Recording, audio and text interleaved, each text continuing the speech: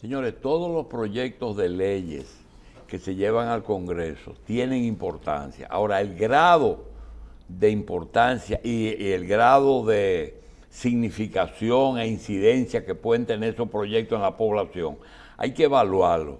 Por ejemplo, el Código Penal, cuando se habla del aborto, yo no puedo entrar ahora en mis consideraciones sobre aborto porque ese es un tema viejísimo, que siempre se ha resuelto en la misma forma que están proponiendo, que es el médico el que tiene que decidir si es la madre o la hija.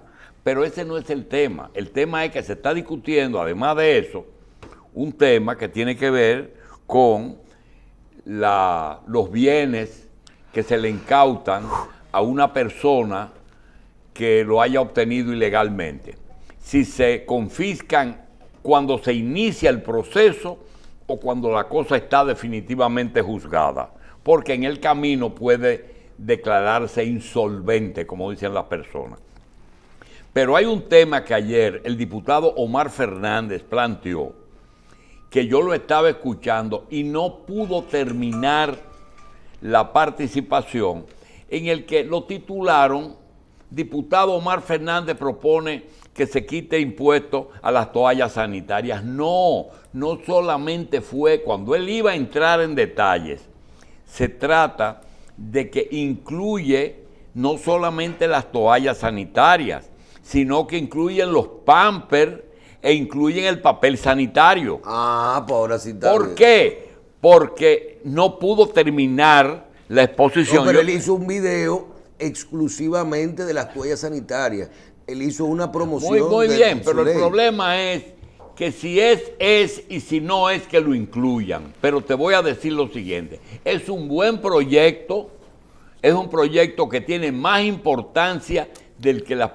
Usted sabe el dinero que se gasta en papel sanitario, en pamper de niños, en pamper de adultos y en toallas sanitarias. No hay una mujer en edad reproductiva que no consuma de por vida de los 12 a los 45 años, multipliquen por 12, multipliquen, eh, ¿qué te digo? 40 años por 30 años por 12. Se calcula 35 años más o menos por 12. Entonces, eso paga ITEVI, igual que las mascarillas, por suerte, la mascarilla no tiene ese problema. Sí, pues ya tiene ITEVI. Ya, tiene ITEVI. Ahora, después del COVID. No debe de tener ITEVI. No debe de tener ITEVI. Porque es algo que Entonces tú consideras tampoco como, como yo, el papel sanitario y los pampers tampoco tienen, deben de tener ITEVI. Es que hay muchas cosas que no se usan por su precio.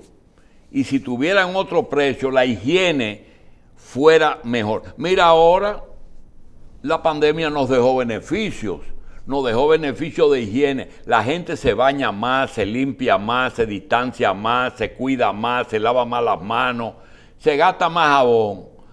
Pero todo tiene una pro y en contra. Ese es un buen proyecto de ley y un proyecto que afecta a toda la población, toda la población. Ojalá lo, lo declaran de emergencia y si tú te pones a ver, como el gobierno anda buscando, buscando por todas partes cómo eh, aumentar sus ingresos cuando no pudieron meter, quitar las exoneraciones, realmente eso es una cosa vital que deben de... Miren, una vez los productos farmacéuticos tenían tres precios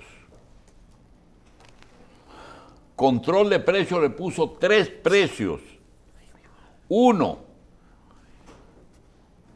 pagaban el 30% y se vendían con un 30% de beneficio en la farmacia. Otros pagaban un 10%. Solamente los antibióticos pagaban un 10%. Y los eh, la leche materna, la que se le da de sustituto a los niños, pagaba cero, porque era una leche materna.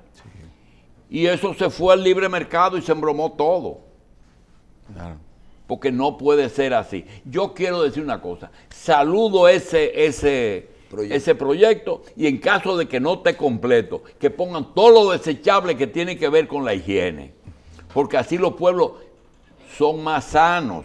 ¿O tú te crees que la vacuna es obligatoria porque los, gobi- los gobiernos quieren que la gente viva más? No, es porque si se enferman de coronavirus, es el Estado que Es tiene que meterlo en, costoso. en cuidado intensivo. Es lo que hablamos a veces, que un impuesto, eh, eh, un gravamen puede obstaculizar el acceso a un bien que a fin de cuentas le economizaría al gobierno el tener que gastar Sí, ese mismo que dinero en que atender a esa que persona. ver hasta dónde es, porque por ejemplo, una cosa es Ya. higiene, el pamper, la toalla sanitaria, el papel sanitario, y otra cosa es cuando comienza la gente a hablarte de otros temas que se podrían incluir. Que te- te comienzan a decir, hay que ver bien ahora, papel sanitario, toalla sanitaria y pamper.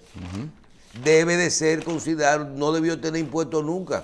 Porque ¿Quién ha dicho aquí que cuando tú pides un filete en Don Pepe no debe pagar ITEVI? Nadie. Entonces, las cosas que tienen que pagar su ITEVI, pagan su ITEVI. Bien, señores, mira, hasta eso yo creo que no Ay, debe pagar ITEVI. no, no. Ahí está, ponle Eso la es, cámara. ponle eso la es cámara. alimento. Oh, Llegó Barra Payam, Ay, barra Payam. Ay, qué tentación. ¿Tú sabes lo que eh, mandaron hoy? oh Dios. Eh. Danés de pavo, danés con pavo derretido de queso y jugo de naranja. Oh, pero seguro, Llegó eso no Barra debe Payán. pagar. Peligra la dieta. Ahí Eh, está. Oh Dios. Los señores, Llegó Barra Payán a los Payán. miércoles de salud. eh, los bien. miércoles de la salud. ay, no, Le haremos llegar al doctor Hanna su... Ay, doctor. Ah, espérate, espérate, espérate. Hay una cosa que tú no sabes.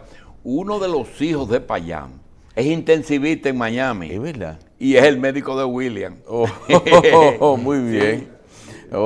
Oh, excelente. Sí, no, y lo Eh, que señores, y lo que huelen, doctor. ¿Eh? Y lo bien que huelen, doctor. Eso. Es el único bueno. anuncio que cuando uno tiene que hacerlo está loco porque llegue la pausa. Está bien. Pausamos.